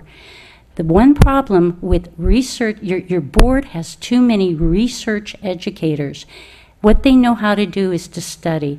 They unfortunately don't know how to take the next step and implement what they've learned. Thank you, Michelle. Doug? I want to thank Tony, you and the uh, chamber, and for all you folks coming out tonight. I really appreciate it. And I also want to thank the other candidates. Everybody here, nobody's going to make any money being on the board, and everybody here is committed in their own way. So I commend them all for, you know, for doing this. We all agree that we have a basin challenge. It's not a Soquel district customer challenge. We need to conserve. I think we all agree with that. None of us want to watch the chart go back up again. So, you know, we're not trying to put in 17 Walmarts, and we couldn't if we wanted to. And we are in an arid climate. Most of all, most of, well, actually, all the candidates tonight uh, claim to want to find supplemental supply, but we've already talked about it. No money's being set aside for it, so you have to decide whether it's sincere or not. Um, And where you put the money is going to be the real, you know, tells you where the priorities are. And we, we're concerned about the affordability of water, even if it's found, based on the current financial condition of the district. At least three of the candidates are currently supporting or have recently supported a moratorium. They backed off tonight, but they uh, were, were for it months ago. They wanted to implem- implement rationing, then backed off of it because of the election. They claim to want additional water, but they're not willing to set money aside for it. The issue is going to be by 2020, the basin, we're going to have to have a basin management plan, and we're going to have to have an agency run it. That probably won't be Soquel Creek water. But if you look without supplemental supply, to hit the numbers that the consultants and the current board have uh, raised, everybody in here would have to be at 53 gallons a day of water to basically hit the numbers to bring the aquifers back into uh, equilibrium. So we're consistent, the others have fluctuated. But the biggest reason that I'm running is because it's about you. You elect people, I see Dennis here, I see Mike here, you elect your officials to represent you. And that's the passion that I saw, especially after watching the board meetings. Thank you, Doug.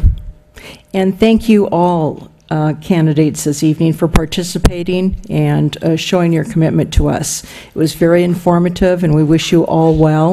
And I'd like to thank the audience.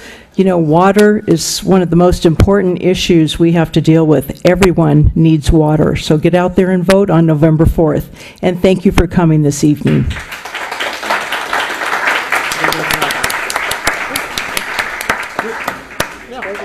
Yeah, thank Nice you. meeting you tonight. Nice working with you. Good, yeah.